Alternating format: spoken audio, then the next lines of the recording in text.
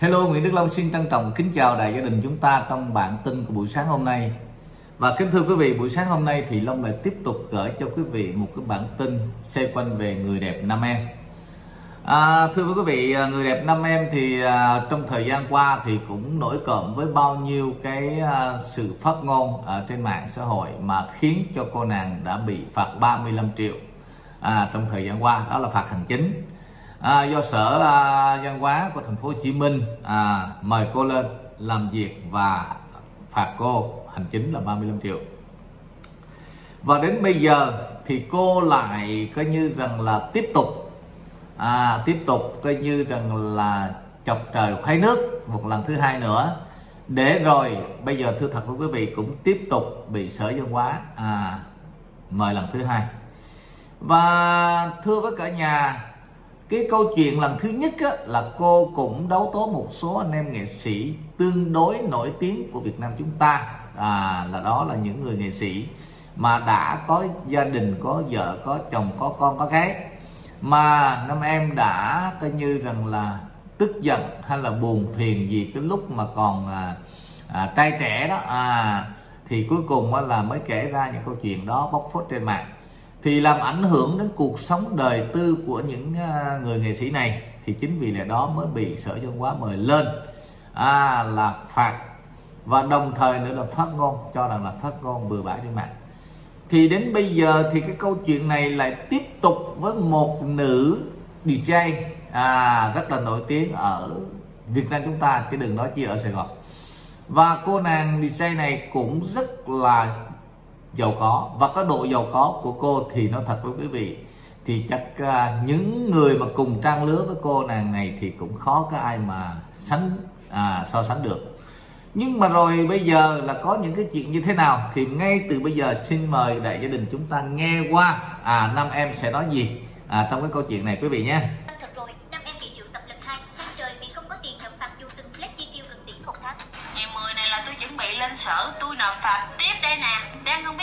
Đâu nộp phạt đây ra Không biết lấy tiền đi đâu đi nộp phạt đây nè Sao hỏi là mày lên? Sao hỏi là mày? đó quý vị thấy không năm em rất là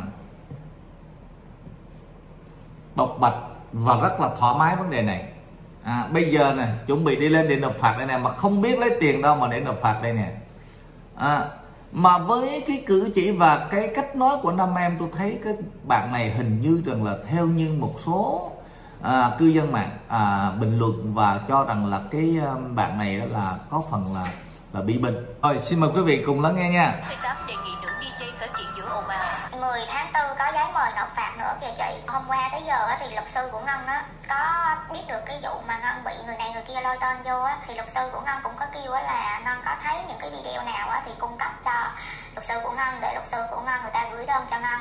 Bức xúc vì nghề nghiệp bị chê bai. đó theo như ờ, cô gái này nói rằng là ngày 10 tháng 4 này sẽ có giấy à, nộp phạt nữa đó. Thì cái câu chuyện này tại sao mà là năm em không biết không hiểu sao mà lại năm à, năm nay là năm em là dính nhiều cái cái vấn đề như thế này?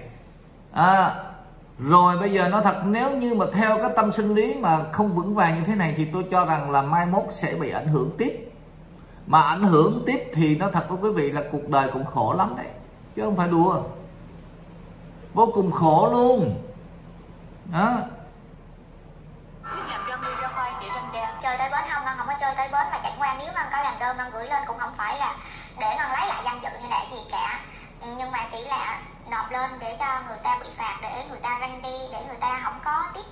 Sai phạm cái sai lầm của người ta nữa Cái nghiệp của người ta nữa. Chứ Ừ. không phải là Ngân nộp lên lên để mà Ngân minh chứng Là người ta nói về Ngân như vậy là Sau này mà đứa nào mà nói về tao như vậy nữa là hậu quả sẽ như đó Nhưng không phải đâu. Mọi người nói.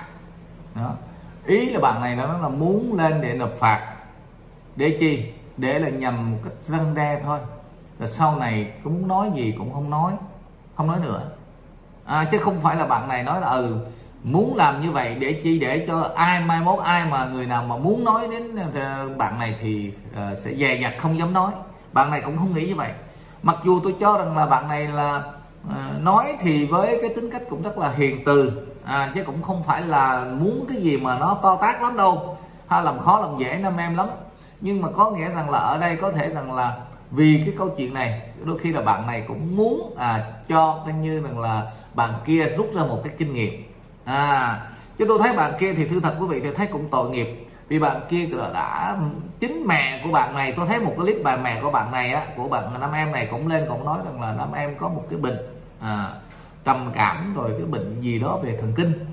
Thành ra là chính vì cái lẽ đó thì mình cũng hết sức thông cảm cho những người bệnh cho những người bị thần kinh. Chứ còn bây giờ nó thật quý vị rằng là mình chấp trách thì thấy cũng tội nghiệp. Nhưng mà cũng không phải là vì cái lý do này mà bạn này à, À, lên nói à, muốn nói gì cũng được xúc phạm đến người khác thì cũng không nên. Thì cũng mong sao người nhà phải khuyên bảo bạn này à, để mình à, rút cái kinh nghiệm và đồng thời nữa cũng coi như đừng đừng có nên xúc phạm người ta. À, chứ còn nếu để xúc phạm người ta hoài thì thấy cũng không được. Mà nếu như mà bây giờ mà mà nói thật quý vị chứ bây giờ mà phạt bạn này mấy chục triệu nữa thì cũng tội nghiệp. Thì quý vị biết rồi một nghệ sĩ bây giờ khó khăn cũng đi mướn nhà rồi ở thứ hai nữa rằng là bây giờ nó thật quý vị chứ bây giờ công việc thì bây giờ cũng đâu có nhiều như lúc lúc xưa. À, rồi bây giờ thời gian này thì cũng bị mang tiếng này mang tiếng kia thì cái chung xô chậu nó cũng ít. À, là cuộc sống cũng khó khăn. Mà bây giờ cứ phạt chỗ này hoài thì tiền đâu phạt. À, mà phạt lần nhất cái lần nhì chứ đâu đến mà đến lần thứ ba là tôi nói là hết phạt rồi đó. Ừ. thành ra là người nhà của bạn này cũng nên cần phải kiểm soát à, bạn này đừng để bạn này ấy mà vô tình đó thì tôi thấy tôi thấy rằng là cũng tội nghiệp. Nó thật sự rất là tội luôn, chứ không phải là không nha. Là nếu mà họ xúc phạm hơn nhiều quá thì hãy làm đơn còn không thì hoan hỷ nếu mà nó cảm thấy như vậy là đã đủ nhiều chưa, người ta trên đầu trên cổ, rồi ta từ cái nghề nghiệp của ngân nha, cái nghề này mà ngân đi làm hàng ngày, người ta từ cái cách ăn mặc của ngân cho đến ờ, hả, cái cơ thể của ngân luôn. Bởi vậy qua tới những cái sản phẩm mà ngân đang bán nữa, vậy là đã đủ nặng chưa mọi người? Ngày 8 tháng 4 Cân 98 đã có phiên livestream. Đó. Thì đó là cái câu chuyện là như vậy. Thì thưa với à, đại gia đình chúng ta thì cái câu chuyện này thì chúng ta cũng thấy rõ ràng không? Mặc dù trên mạng xã hội chúng ta muốn nói gì nói, nhưng mà nói đúng nó sự thật. Chứ nói mà xúc phạm đến người khác, nói mà làm ảnh hưởng đến uy tín danh dự hay là cuộc sống riêng tư của người ta thì không không có cho phép. Vì trong cái bộ luật hình sự 331 là người ta không không không có cho phép cái chuyện đó. Không phải là lợi dụng à, lợi dụng cái quyền tự do dân chủ rồi đến xúc phạm người khác là chuyện đó không phải. À, rất là khó. Nhưng mà tôi cho rằng là đây rằng là bạn năm em này thì bạn này nói chung là bạn cũng bị bệnh vừa bị bệnh mà cũng vừa bị chết rồi nói chung là cũng nhiều thứ trong đó. À mình phải nói như thế. Rồi ảnh hưởng đến cái cuộc tình ngày xưa thì nói chung là đôi khi là nói vậy chứ. Nó cũng mỗi cái nó cộng hưởng là một chút thì mình cũng hết sức thông cảm. Ha hết sức thông cảm nếu một người mà bản lĩnh mạnh mẽ vượt qua thì dễ nhưng mà nhiều người mà họ yếu đuối hay là họ tình cảm quá thì họ khó có thể vượt qua được. À, thì thấy cũng tội nghiệp. Chứ bây giờ tình cảm này xưa trai gái thì ai không có mà qua rồi thì thôi một thời là thôi. Nhưng mà bây giờ riêng bạn năm em này thì vẫn nhắc lại cái câu chuyện đó là quý vị cũng hiểu rằng có nhiều người cho rằng là bạn này á à là muốn cái như rằng là ăn không được là phá đá đổ à, rồi có nhiều người thì nói cho rằng là bạn à, này là bây giờ là muốn à, à, tạo scandal à, để cho nổi tiếng. Rồi bạn này rồi có nhiều người cho rằng là bạn này bây giờ tại sao lại đi nhắc chuyện cũ? Như vậy có thể rằng là ví dụ như là, là chọc tức người tình cũ hay gì? Hay là ví dụ như nhiều người nói là ganh ăn tất ở với cái người vợ bây giờ hay sao? À, có nhiều cái tiếng ra vào tiếng ra rất là nhiều nhưng mà long nói thật với quý vị rằng là đôi khi những cái khía cạnh đó, cái góc cạnh đó người ta nhìn thấy. Nhưng mà còn một cái góc riêng, một cái góc riêng của năm em thì có người, nhiều người chưa nhìn thấy. Long nói đây không phải là long à, long bảo vệ năm em nha, hay là binh vực năm em, nhưng mà long nói với cái tấm chân tình của mình và cái góc nhìn trực quan của long. Đó là cái chuyện ví dụ như cái góc riêng tư của năm em đôi khi là người ta họ yếu đuối về vấn đề tình cảm mà người phụ nữ thường thường người ta hay yếu, yếu đuối về vấn đề tình cảm. À, mà họ yếu đuối về tình cảm thì họ họ khó quên. Họ thương rồi họ khó quên. Mình phải hiểu như vậy. À, chính như rằng là nghệ sĩ trường giang cũng từng nói nói ờ thì chẳng qua là hồi xưa là chỉ nghĩ là anh em vậy thôi. À, nhưng mà năm em lại có những cái suy nghĩ vậy à, thành ra là bây giờ cái câu chuyện nó nó nó là vậy. Nhưng mà nghĩ à, trường giang nói là bây giờ nghĩ cho cùng là vẫn thương thấy tội nghiệp thấy thương nam em chứ. Trường giang cũng chưa hề mà trách móc hay giận hờn gì nam em cả. Thì đó là những cái điều mà chúng ta cũng nhìn thấy được. Đó là rõ ràng. Đó là một cái góc riêng góc riêng của tình cảm nhất. Cái góc tình cảm này là cái góc cái góc một cái góc nhỏ trong tâm hồn của của nam em thôi mà năm em cứ nhớ mãi nhớ hoài cái người yêu cũ. Thành ra bây giờ, mặc dù có có một người yêu mới rồi, nhưng mà vẫn còn người yêu cũ. Đó bởi vậy nó thật với quý vị rằng là bởi nhiều khi người ta họ thường nói câu rằng là, tôi lấy cái người tôi yêu, chứ tôi không phải là tôi lấy cái người yêu tôi. Nhưng mà quý vị biết rằng là cái người yêu tôi á, là mấy người đó mới là thật sự lo lắng, chăm sóc, thậm chí hy sinh mọi thứ cho tôi còn tôi lấy cái người tôi yêu. Tôi yêu người ta nhưng người ta không yêu tôi. Mà tôi yêu là được. Mà con người mình thường thường là vậy. Tình yêu là vậy. À cứ lấy cái người mình yêu. Chứ không cần là là mình lấy cái người họ yêu mình. Mà họ yêu mình thì tất nhiên họ mới lo lắng họ mới chăm sóc cho mình. Họ mới hy sinh cho mình mọi thứ. Còn nếu như mà mình lấy cái người mình yêu á, thì chỉ có là mình yêu người ta thì mình lấy thôi chứ có người họ người người đó họ đâu có yêu mình. Thành ra làm sao mà có hạnh phúc được quý vị? Thì bởi ở đây trong cái tình yêu hai chữ tình yêu nó cái định nghĩa về hai chữ tình yêu rất là khó. À, rất là khó. Mà nói thật với quý vị mà bởi vậy nhiều ca sĩ nhạc sĩ thi sĩ người ta cho rằng là đôi mắt là cửa sổ của tâm hồn. Mà đôi mắt là cửa sổ của tâm hồn khi đôi mắt mở ra là giống như cửa sổ của tâm hồn đang mở. À thì đang mở thì tất nhiên đôi khi người ta nói à mà thêm một câu nữa dương gian người ta thường nói cái câu á phụ nữ á, là yêu bằng tay mà nam giới là yêu bằng mắt. Tại sao người ta phải nói như thế này? Nam giới yêu bằng mắt là sao? Là đôi mắt là cửa sổ của tâm hồn. Khi nhìn vào cái người đó mà mình thấy mình yêu mình thương mình thích họ có một cái nét nào? Thứ nhất là làn da trắng thứ hai là mái tóc dài đoan trang thứ ba nữa là cái dáng dốc eo thon. Ví dụ như là chỉnh chu cái thứ tư nữa là người đó hiền lành. Cái thứ năm người đó nó có thể là thật thà. Thứ sáu người đó có thể rằng là là là một người mà toát ra một vẻ cái như rằng là mỹ nhân tuyệt hảo. À, có nhiều cái chuyện mà để người ta yêu ha. Rồi thậm chí có nhiều người họ định nghĩa không được cái chữ tình yêu mà họ nói là tôi yêu cái cô ấy bằng bằng cái đôi tôi thấy cái đôi bàn tay cô ấy tôi cũng yêu.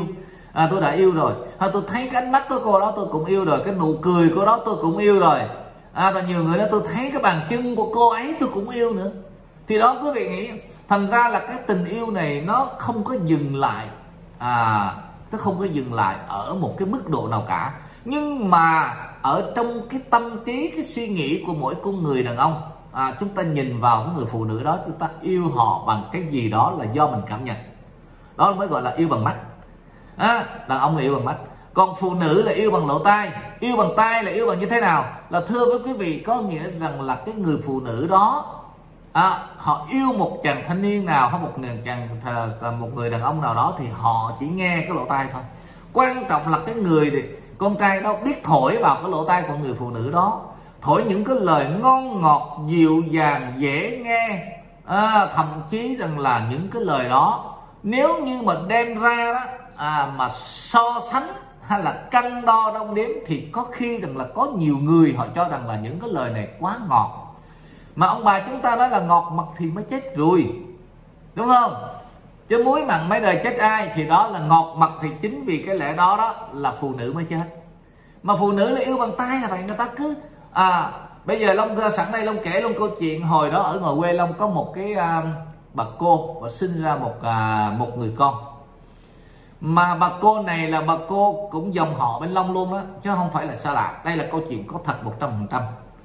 Thì uh, sinh một đứa con gái rất là dễ thương đẹp gái mà đẹp nó phải nói rằng là nhất nhì cái làng đó. Nhưng mà bà cô thì nghèo lắm hàng ngày chỉ đi bắt ốc hái rau bán đổi gạo ăn. Thưa thật của quý vị là vậy quê hương của long ngày xưa mới giải phóng về là nghèo khổ lắm cực khổ kinh khủng lắm. Rồi một mẹ một con làm nuôi đứa con à, vậy đó. Rồi đứa con là ngày càng ngày lớn lên cũng không đi học cũng theo mẹ đi bắt ốc với là hái rau. À ngồi quê long ngày xưa là leo lên tuốt trên núi á hái ba cái rau lá lốt. Cái, cái lá lốt mà để mà mà mà mà mà mà, mà quấn um, uh, thịt bò để nướng đó quý vị. À, là đem về bán cho dân. Đổi gạo chứ không bán thời đó là đổi chứ không có tiền đó mà mua chứ là đổi gạo thôi. À, rồi bắt ốc bu ốc hút trên khe trên núi rồi đó đem về mà đổi. Thì con gái này cũng đi hoài đi theo mẹ như vậy. Nhưng mà sau đó có một anh chàng thanh niên